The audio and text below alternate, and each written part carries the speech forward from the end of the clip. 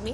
राज ठाकरे यांच्याकडून महायुतीला बिनशर्त पाठिंबा देण्यात आलेला आहे असं पेडणेकर यांनी म्हटलेलं आहे. पाठिंबा दिल्यानंतर पत्रकार परिषदेची गरज काय होती असा सवाल पेडणेकर यांनी केलाय.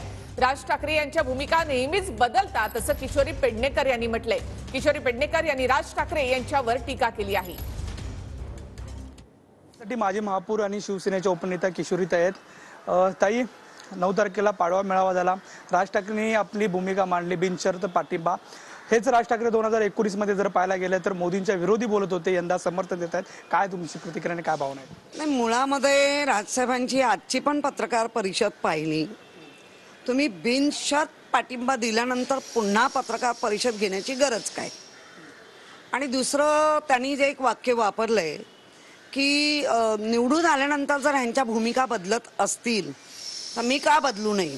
कुठलाच यंत्रणांचा वापर होतोय. त्यामुळेच हे संपूर्ण घडलं असं असं वाटतं?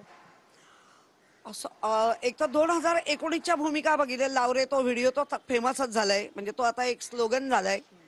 त्याच्यानंतर बदलत्या भूमिका किंवा अगदी स्थापन झाल्यापासूनच्या बदलत्या भूमिका.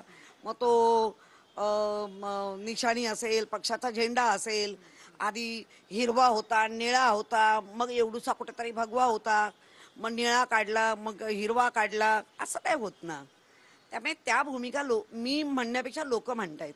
दात निघालेला नख काढलेला वाघ आता लोकांना नको आहे.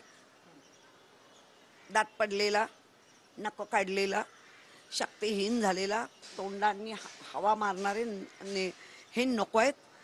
सिद्धेश नाईकसह नंदकिशोर गावडे टीव्ही नाईन मराठी.